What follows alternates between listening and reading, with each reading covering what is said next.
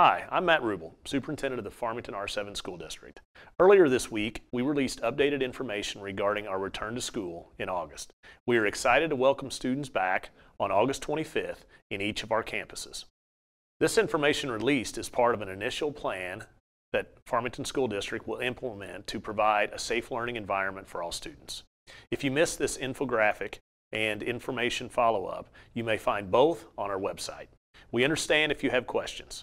We have been working tirelessly throughout the summer with groups of stakeholders from around the district to develop a detailed plan for a safe return to school in the fall. The detailed plan, Return to Learn, will be released to families in early August before on-site registration.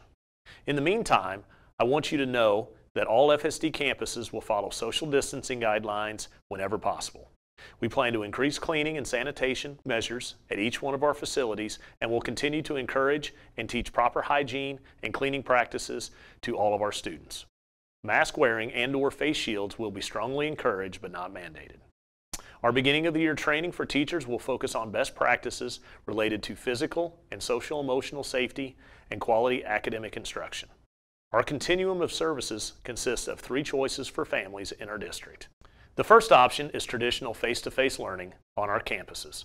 Our district will follow state and local guidelines to ensure safe, sanitary, and secure learning environments.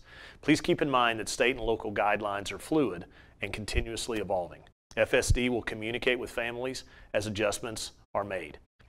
Our plan will mitigate risk for students and staff, but will not eliminate it. Masks will be strongly encouraged, but will not be required.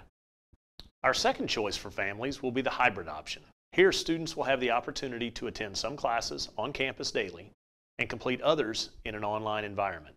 Attendance requirements and grading policies will apply for these students. FSD teachers will be assigned to the students in a hybrid environment to monitor student learning, provide grading, and support. Transportation will not be available outside of the normal transportation offerings for the traditional school day. The third option for families will be all virtual. Virtual students will be part of a structured schedule of online classes and have a designated teacher using a digital platform such as Google Meet.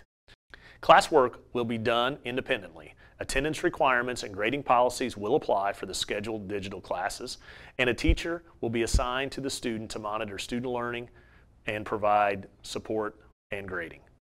Again, a detailed plan of the safety measures we are establishing for face-to-face learning will be released before our on-site registration begins.